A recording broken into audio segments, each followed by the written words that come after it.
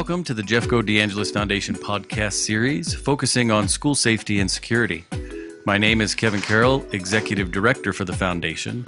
Throughout this series, we will be engaging in informative conversations with local, national, and even internationally recognized experts in the arena of school safety. We will be exploring best practices in crisis preparation, response, and recovery, as well as gleaning lessons learned from these remarkable professionals. In special editions like today's with Deputy Chief AJ DeAndrea, we will also be having conversations with people who personally experience school and community shootings.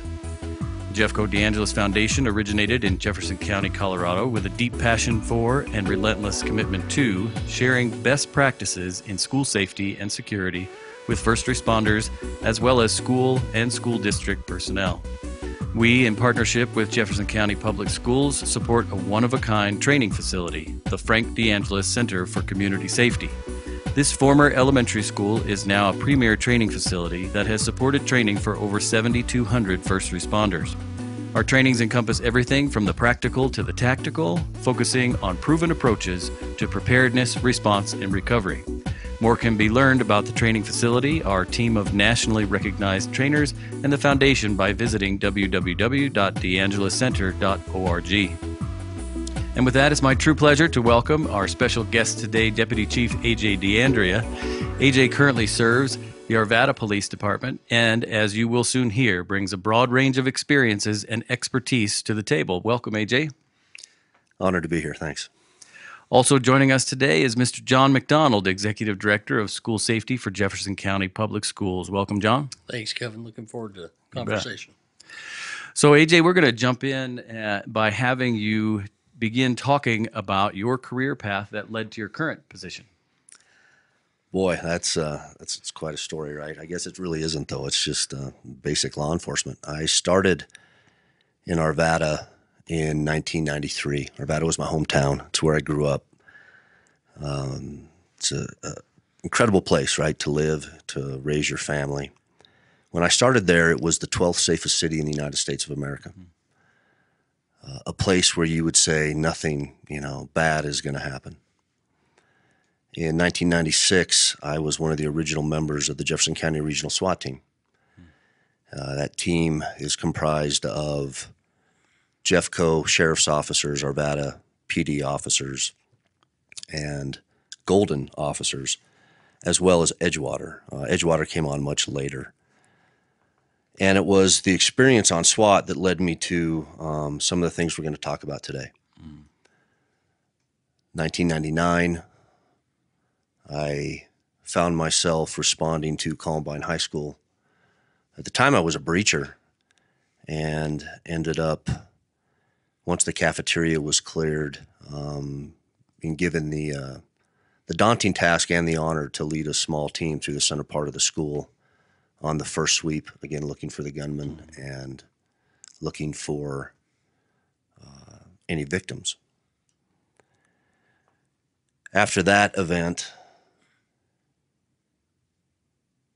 September 26th, uh, September 27th, excuse me, 2006, led to my second school shooting, uh, Platte Canyon High School. By that time, I was um, had moved up in the ranks on SWAT and ended up being third into the room on the hostage rescue to try and save Emily and another little girl. Uh, we were successful in rescuing one, and Emily was shot and killed at a distance of about three feet from me as we were attempting to rescue her. Suspect was shot and killed by other members on the team. Mm. A few months after that, in a raging gunfight, rescuing a deputy that was pinned down by gunfire down in Willow Springs. And almost a year to the date after that, my third school shooting, December 9th, 2007, at Youth with a Mission Missionary School, where, as you know, a gunman went into the missionary school a little bit before midnight, ended up shooting four people I personally carried out Tiffany, Tiffany Johnson. She was shot 11 times. She was alive when I put her in the ambulance, went back into the building, got to Philip Crouse. He'd been shot one time in the liver. He was alive, carried him out, and put him in the ambulance.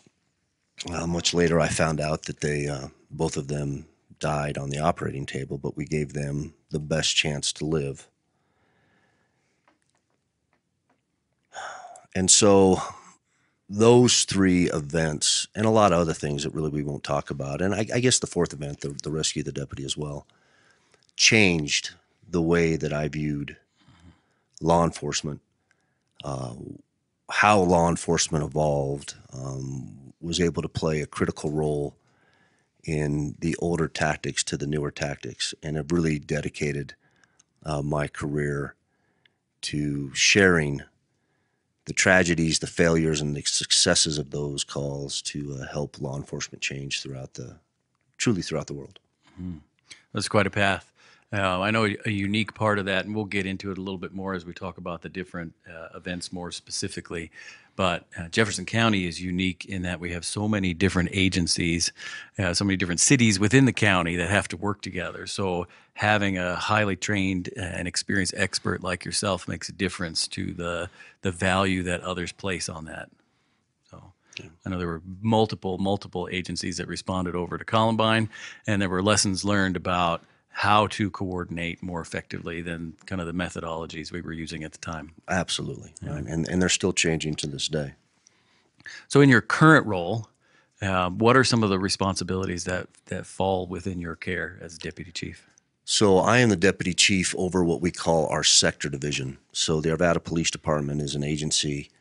Um, it's kind of unique the way that we operate. Uh, we are 188 sworn, about 230 employees, and it's rare for an agency our size to actually have four standalone police departments, right? Fully functional um, police departments, uh, buildings. And you see that in the bigger cities. You know, Denver naturally, as big as they are. Um, but for an agency our size, it's kind of unique. And so my responsibilities is primarily the sectors and what goes on in the sectors. So that is is our patrol operations, uh, school resource officers, traffic, um, anything that you can think of that would be in that realm would be uh, under my chain of command. Okay.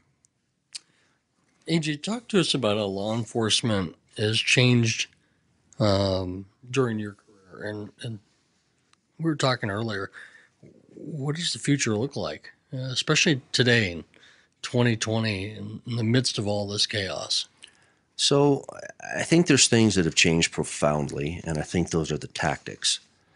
Uh, and I can get into that here in a little bit. I think the things that maybe haven't changed is the compassion um, that the officers have, the uh, the dignity that they carry themselves, the resolve, the true commitment to serve this community. You know, we're in a tumultuous time right now, and you know we were talking earlier about the number of arrests that take place in this country uh, daily, there is just the odds against us that something's going to go wrong doing that. But the vast majority of officers from when I got on the job to where we're at now, um, I think the compassion is still there, the desire to serve, the understanding of what our role is. Things have changed as, and again, I, I think more along the tactics and maybe the methodology of how we do stuff to where we have to be more reactive. We have to be um, quicker to respond, more nimble in our actions. And I can use Columbine as an example. You know, Columbine, the deputies that responded there did exactly what they were trained to do. The problem that day is we, we weren't forward thinking. We, we were kind of set in our ways. And so you've seen this great evolution since then. And so they got there, they set their perimeter, and they waited for SWAT. And that was pretty much a standard across the country. Um, an episode like that was something that they wanted a, a TAC team, SWAT team, to address.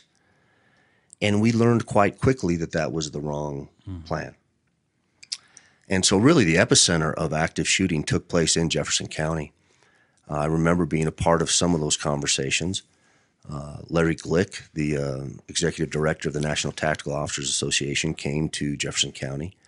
Uh, Mike Odell and some some other officers from LAPD SWAT came, and there was a lot of information shared. And shortly after that, the active shooter training began, where we started to train patrol officers not to wait, to give them the skill set to be able to go into these events, not have to wait for SWAT, and to address it.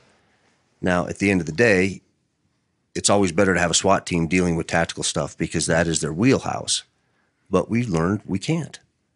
And so when we talk about priorities and, and life safety priorities, officers have to risk when there's the potential for serious bodily injury or mm-hmm. death. So people are dying while you're People- waiting. Right. So we can't wait, right? So you see that start at Columbine. The results of that we can see across the country and truly across the world. At Platte Canyon, uh, a lone deputy went into that building when he knew he was going to a confrontation with a, a man with a gun and got to the door and contained the suspect.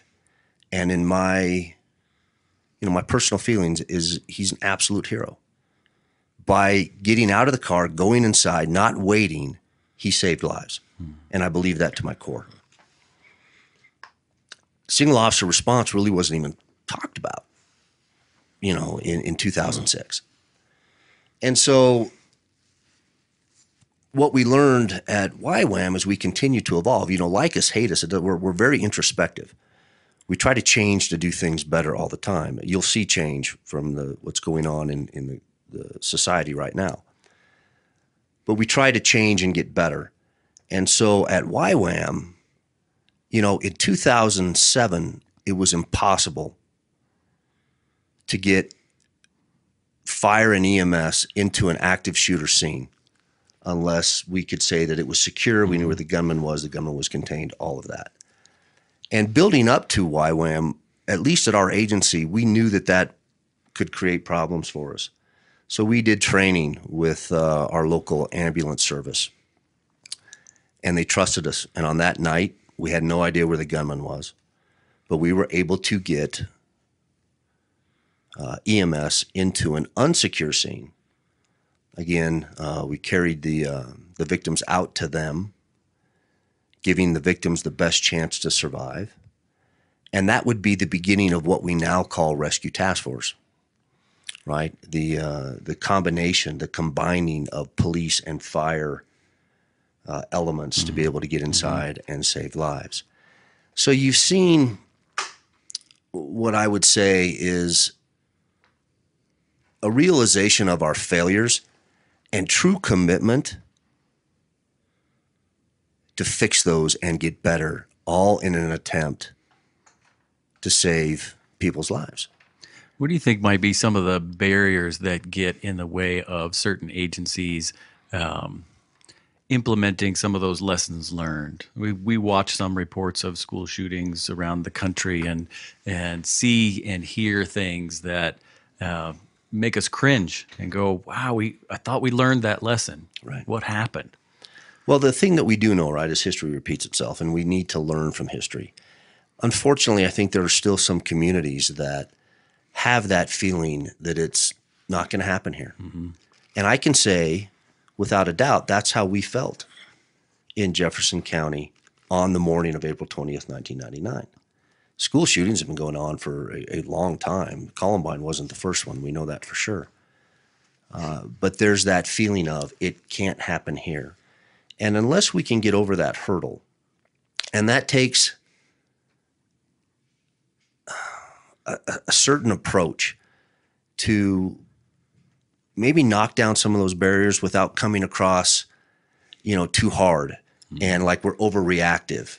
Um, it's it's a realization that truly, what is our job? What is our profession? You know, law enforcement is tasked with with multiple of things that they have to do but primarily we are here to save lives. We put body armor on and a gun every day to go out with the main intention of saving lives. And if we can express that to the community, get buy in from the community, because it's a community effort, mm-hmm. it can't just be law enforcement doing it, right? If we can get buy in from the fire services, if we can get buy in from the school districts, at least for us all to own our part, to come to the table and and own our part and work together. What it looks like in Jefferson County might be totally different than what it looks like in Timbuktu, wherever. Mm-hmm. But those conversations have to take place and it has to make sense. And we have an obligation to learn from history.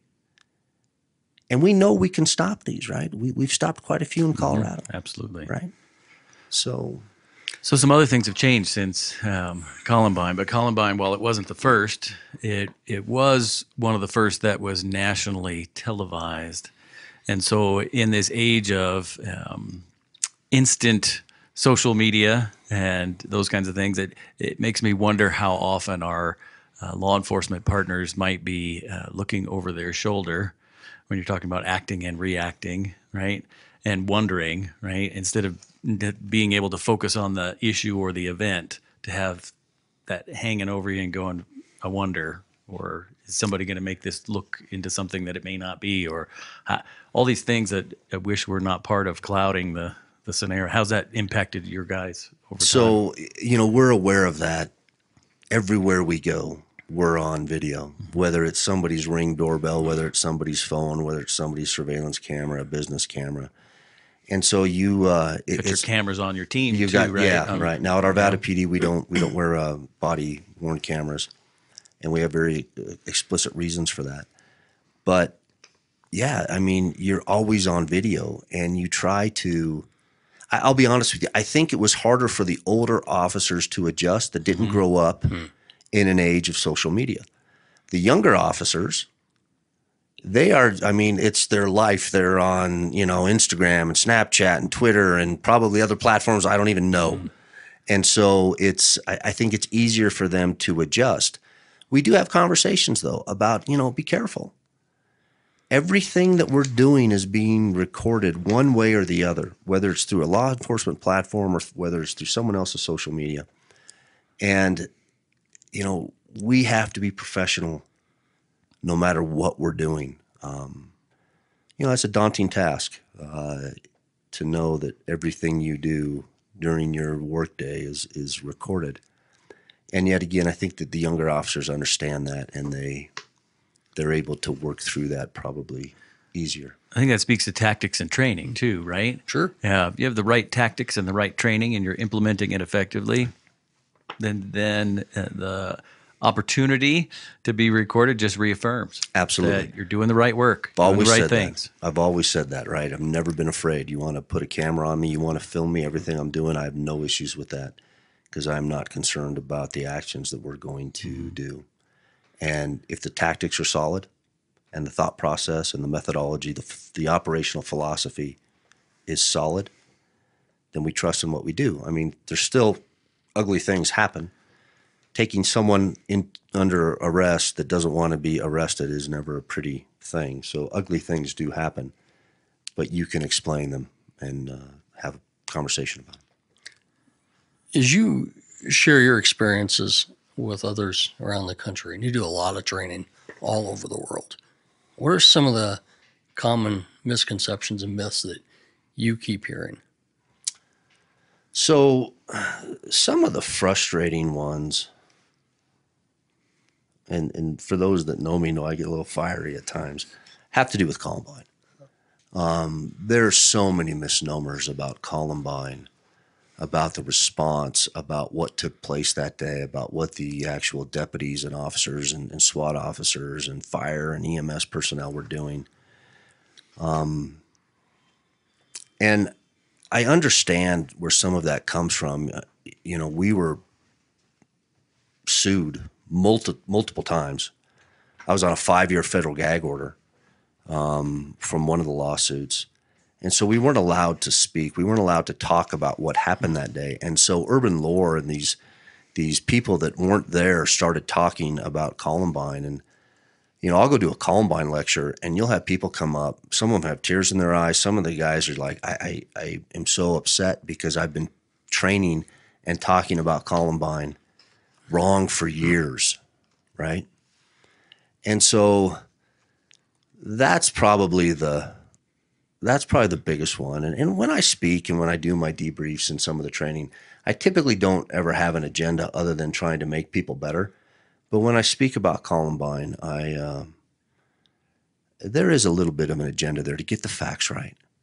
The people that were there, the victims, the community, they deserve to have that story told correctly and not to be made into something that helps somebody sell some piece of equipment for a school or to uh, you know for a multitude of reasons right? And so that's that's probably those are probably the biggest ones. I've seen you challenge uh, the so-called experts publicly, um, and and be pretty direct um, when they get it wrong.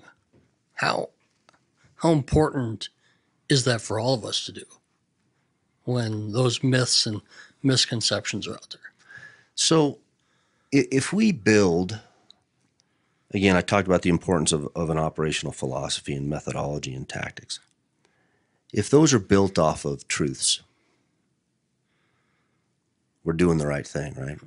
We're asking our officers, we're asking our school personnel to do amazing things that they never talked about before. Before Columbine, we didn't do lockdown drills. We didn't talk about active shooter. We didn't do those drills we know that when we do those drills, it prepares us and we're better for the event.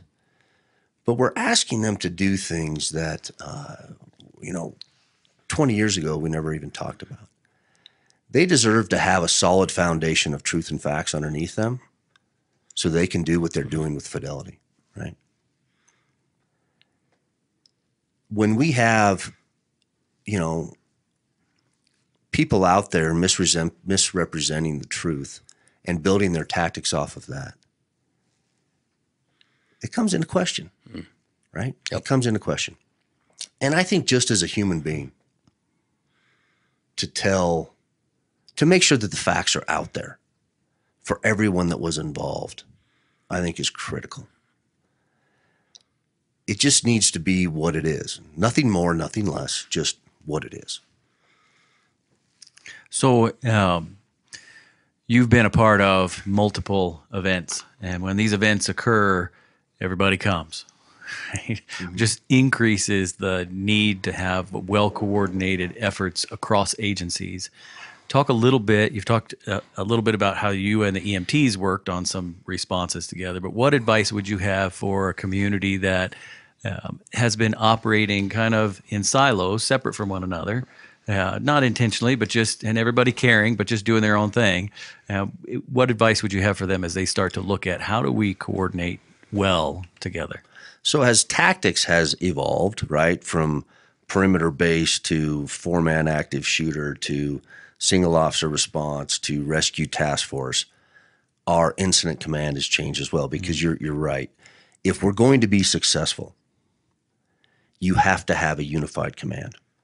Everyone that has a say in what it, I mean, everyone has to have a say, right? If they have something that's in jeopardy, they should be at that table and have an equal voice. And everybody has different intel. Everyone right? has different intel, and you know, the cops own the crime. The fire department owns the fire. EMS, the victims. The school, the kids. Mm-hmm. Everybody has a different piece there, but they have the same voice. And to work coordinated, unified, you're going to be much more successful. When we see failure points, um, it's not always on the tactical end. It's on how was this thing managed? How was unified command? Was it command? Was there incident command? What was the communication piece? You know, if we don't have good intel, we can't make good decisions. And so there needs to be a clearinghouse. Intel comes into one spot, conversations are had, that information is shared out. That can be difficult to break down barriers. You know, traditionally, you know, police departments and fire departments didn't get along. I will tell you this: the Arvada Police Department has probably one of the greatest relationships with Arvada Fire Protection District, and we're very proud of that. Those silos were broken down, and we work hand in hand. Um, we're very proud of that relationship. The relationship with Jeffco Schools, um, again, uh, just to be able to sit down and some of the conversations that have to be had, but trusting the person that's showing up because you understand what their intentions are. And so unified command is is huge. And again, those were lessons learned. When Columbine started, there were, you know, individual incident commands and it took some time to finally get those morphed Mm-hmm. into a unified command for information sharing. And uh, So one of those lessons is do that ahead of time. that needs to be done ahead wait of time, right? Wait for the scene to happen to then start to say, well, what should we do? Part of that, I would imagine, has to do with um, everybody checking a little bit of their ego at the door, uh, and then owning your own stuff, but then collectively saying we have something bigger that we need to be committed to together, and what are we willing to do to make that happen? Absolutely right. All of this is um, has to take place before, and there's there's some heavy lifting that has to be done. You're known for being, well, I'd say passionate, Direct. driven, Direct. dir- sometimes direct. You think? Uh, it's a good thing. You know, you know, you know, when you're not working with uh, Arvada PD, you're also uh, working as a instructor for the National Tactical Officers Association. You train law enforcement in school districts all over the country. Where does the drive come from to keep doing it at this level for all these years? That's a very personal question. Um, but it goes back to the loss of Emily. And so we lost Emily uh, September 27, 2006. And shortly after that, again, we lost her at Platte Canyon High School, if people aren't familiar with, uh, with the call. Shortly after that, we found out that the Keyes family wanted to speak to us. And I thought that was the right thing to do. Uh, there were a lot of barriers that had to be broken down. A lot of people that didn't want you. A lot of people, right? a lot of people people. that didn't want me. Uh, people on the SWAT team that didn't want me to go. Took a little convincing to uh, Sheriff Ted Mink. Um, some some great conversations with him. Again, a, a dear friend of mine. I think the world of him. Have the utmost respect. And I think through his vision, he uh, he saw that some good could come from that, and so he allowed me uh, to set up an arrangement to speak to the family again, there were people on the SWAT team that didn't want me to go, and I was explaining this to the TAC team and asked if anybody wanted to go with me. And uh, Mike Denuzzi, a uh, in my mind, a, a true American hero, an incredible man, uh, raised his hand and said, "I was a sergeant at the time." Said, "Sergeant, I want to go with you." And so uh, I called John Michael Keyes on the phone that night we had about a two hour conversation. And to be honest with you, I can't really remember what we talked about. We didn't talk about the incident. I think we were just feeling each other out. It's interesting to get his perspective from it. Uh, you know, he's a big man and he's a proud man. Um, much later, he told me, you know, he found himself kind of in a, sitting on the floor in his kitchen. He never sits on the floor and talks on the phone, right? But it was decided um, October 17th, 21 days after her death, that we would go to the family home and have a conversation. And so I put on my Class A uniform, all the medals, all the regalia for respect. Mike Denuzzi showed up in his. We did the long drive up to the town of Bailey. I stopped, I bought a peace lily because I didn't want to show up empty handed and walked into their family home. No attorneys, no brass, no PIOs, just two men representing a SWAT team that lost a little girl and a mother and father that were still mourning the death of their, really the murder of their daughter. Sat down at their dining room table and I told them that um, I wasn't going to tell them what happened. They would have to ask me because I wasn't sure what they were willing to hear, what they were ready to hear. I told them I'd come back a hundred times, but be careful what they asked because, you know, whatever they asked, I was going to be blunt and I was going to tell them what took place. And so after a three hour conversation uh, with a lot of tears, it was time for us to leave. And at that moment, I stood up and I looked Mr. Keyes in the eyes and I began to shake his hand. And in that moment, I made him a promise that the loss of his daughter's life would not be in vain, that I would go anywhere, anytime, speak to anyone to help them do it better. And that is why I do what I do. It is to fill a promise made October 17th, 2006 to the Keyes family. So, AJ, in fulfilling that promise, you do several presentations around the country, around the world on mindsets. Mm-hmm. Uh, if you could share with us just a few of the top priorities and strategies that you share with attendees of these mindset presentations. So,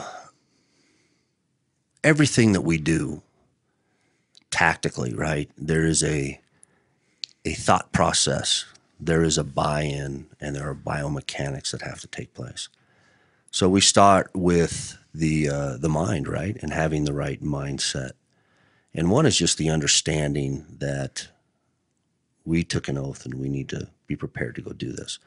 But we give them an operational philosophy to think through to help people make quick, solid, sound decisions.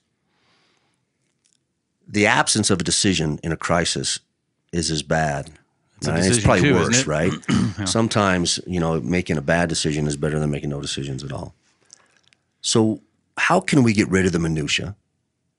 How can we concentrate on the things that are important moment in time to make decisions? And it is an acronym that we commonly call PI, which is life safety priorities, intelligence, and environment. When we look at our life safety priorities, at the top of the list is anyone that's an imminent threat of serious bodily injury or death. Below that would be, and I, I, would, I don't even want to say below it, but the next option is civilians, then law enforcement officers, and then the suspect. And I'll break this out for you. Again, life safety priorities. If someone is an imminent threat of serious bodily injury or death, what that does is it allows the officer, the sergeant, the commander, whoever is making decisions, to be more aggressive in their actions. Because if we wait, like at Columbine, mm-hmm. if we wait, people could perish, people could die. So, to put it in an easier perspective, you have a rollover accident up on the highway. The 911 calls come in. We understand if we don't get there quick, people are going to die. That allows the officer to be much more aggressive, dynamic, maybe might be the better word, uh, to drive lights and sirens to get to the scene. That's not the norm. It's not the norm to drive lights and sirens, and it's actually very dangerous for the officers. Right, more of us get killed in traffic accidents than than anything else annually. Put it in the realm of active shooter. Probably the wiser thing to do is to wait for a SWAT team to get there. They're better equipped, like it or not. They're better trained. They have better equipment. Um, they're working as an element that trains all the time with one another. But we can't. People are dying in the People are dying, right? So we've spent a ton of time and heavy lifting in training the patrol officers to get to work, right? Your school resource officer inside a school, the shooting starts. Rather than waiting for two or three other patrol officers to get there, single officer response, let's get to work on viewing what's taking place. If we don't, people are going to die, right? So that's that imminent threat. The analogy I like to use let's take away the imminent threat. Let's say we have a suspect that is barricaded in their home, no one's in the home with them, and they're firing rounds out of the house, right? The priority on that call isn't the guy inside the house shooting the gun off. There's no one inside, right?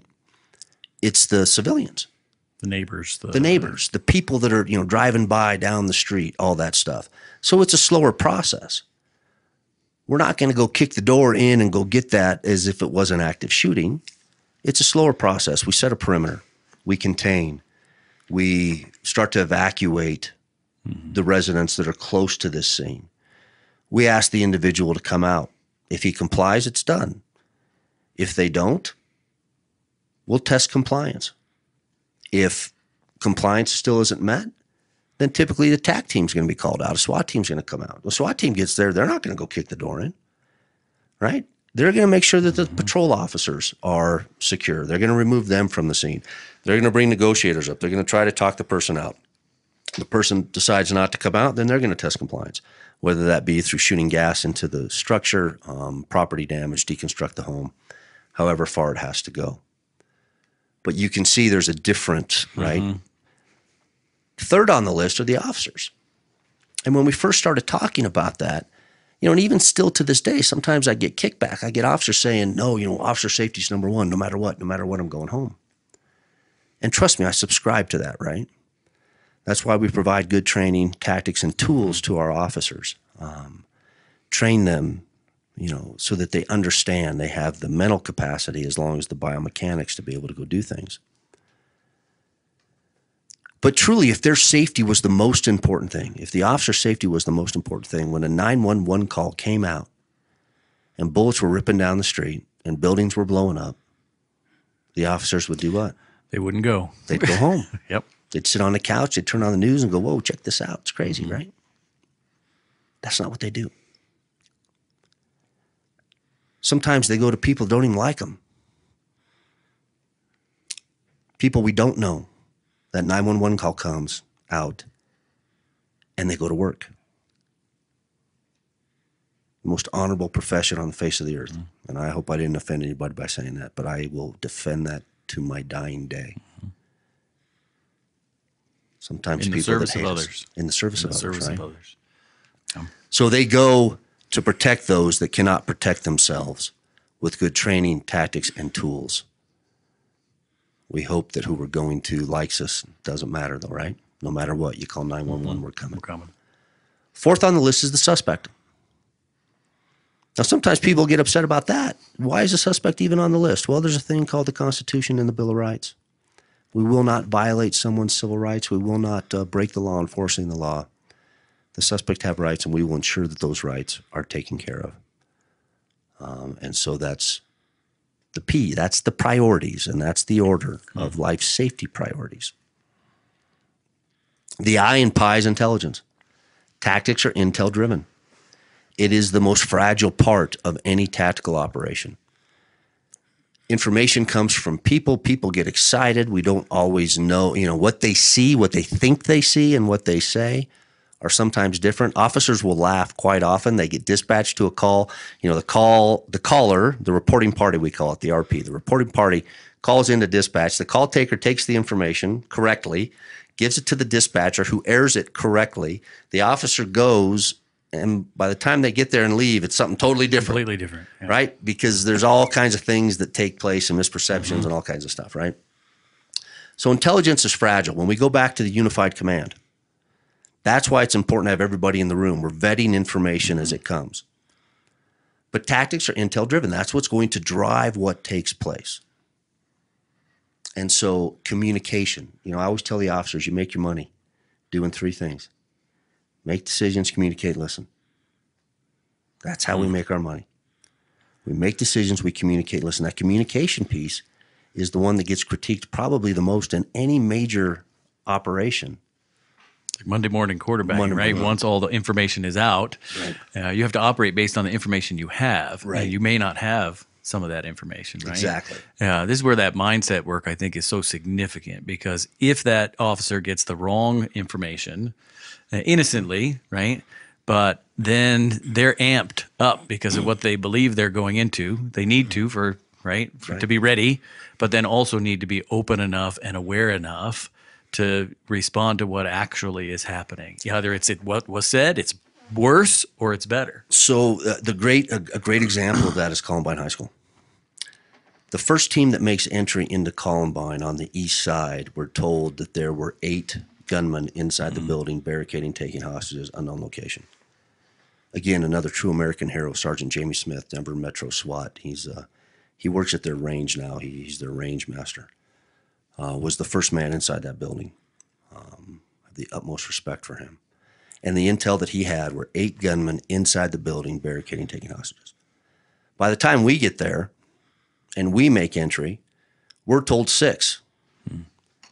Now there was some people on the roof that it got cleared up, at least two. But again, well intentioned. So now we think we've got six individuals inside, you know, shooting, killing, taking hostages. 250,000 square foot building, no idea where they were. Um, and so that changes the tactics, right? It changes the way that we operate. So sharing of information is critical, right? And that's the I in pi. The E in pi is environment. The environment dictates the tactics. And that is where law enforcement has what I would say is some of the advantage because we can manipulate the environment. When we do things to manipulate the environment, to put ourselves in a position of advantage, to take options away from maybe our adversary, um, when we're smart in how we do that, we have a better chance of a successful outcome. And there's there's that's where a lot of the biomechanical training takes place. You know, how do we how do we uh, you know threshold assess? How do we move down a hallway? How do we you know manipulate the environment to keep ourselves keep the the officers safe? And so, in a nutshell, that's pie. Now, it's, it's a much longer conversation than we sure. had just here, right? But that is the mind. So that's part of the mindset. That's the decision making matrix, if you will, to uh, allow people, officers. Uh, we teach this to uh, our, our school um, executives, people that are in that decision making position in a crisis. How do we get rid of the minutia, concentrate on what's important, and that's the that's the uh, matrix that we use. Sure. I've got a question that I've wanted to ask for a long, long time, and this is a perfect opportunity. Can, can you share with us why anybody, a reasonable, sane person, would climb into a cave and take a picture of a bear? and and would you do it again if if if you had a chance or was once enough?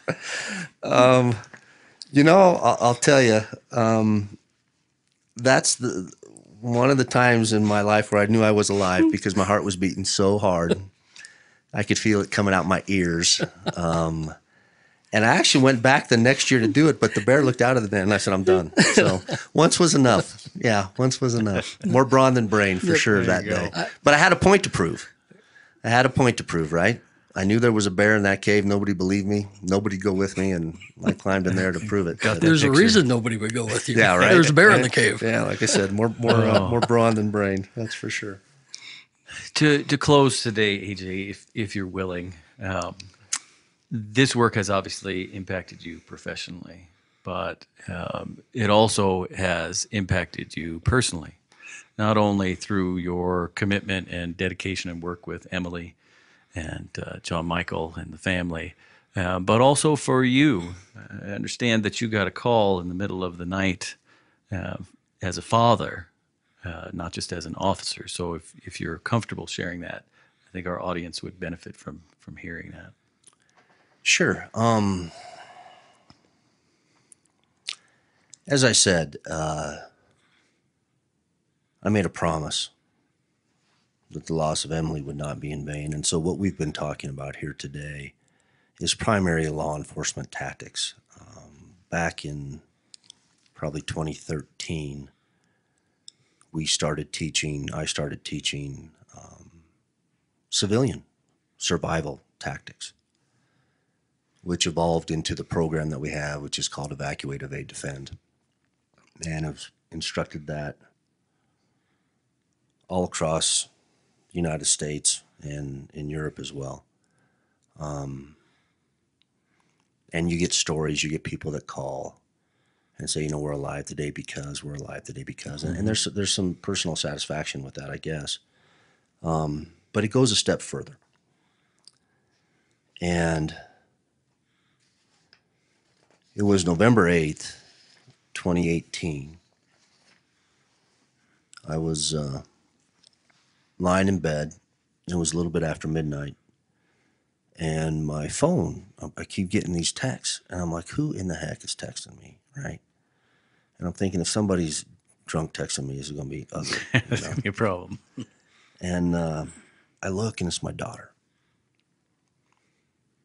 And the first text says, I love you guys. Now, I hope everyone knows where those words came from. Those were the last words that Emily Keyes texted to her parents before she was murdered. And for me and my family, those have always been a a, a code for us that something's not right. If a text came out with that, right? Um, you can imagine growing up in in my household. You know, my daughters were. We talked about things at the table. We talked about what do we need to do to keep ourselves safe and to stay alive, and and so we had, you know, there's there's always verbiage there if something's going on, so we we know that there's issues. And it says, "I love you guys." And she says, Dad, I'm in a bar in uh, Thousand Oaks. There's gunfire. I've made it to the attic. I'm barricaded. And I, uh, if you can imagine, my heart stopped. Uh, most helpless I've ever felt in my life. Um, and so I continued to text her to get information. I got on uh, Ventura County's frequency so I could listen to the dispatch live. I called their dispatch center on my other phone. So my daughter is texting me.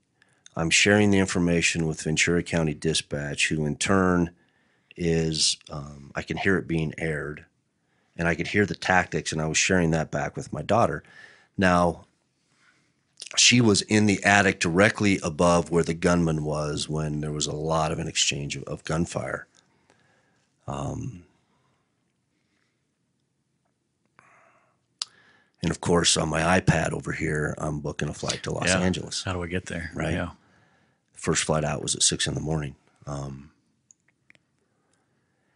and so, you know, just through communication with her,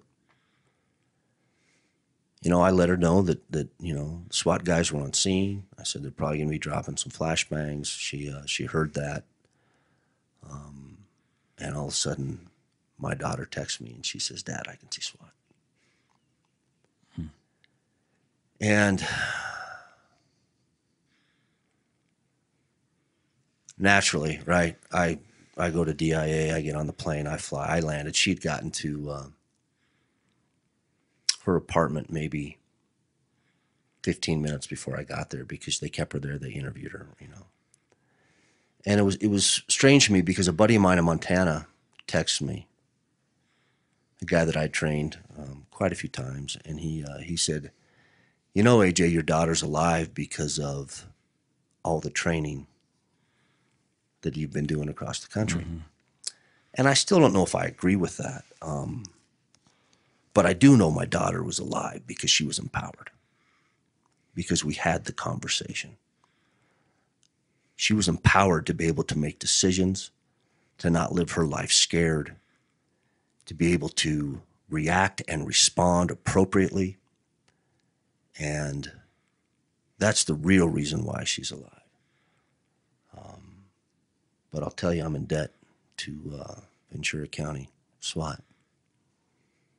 So um, it's gone full circle for me. It has gone full circle for me, and that doesn't mean my road is is done. I still have a fire and a desire to to train and help people get better and to learn. I think the day that that we think we know it all in this profession, we become dangerous.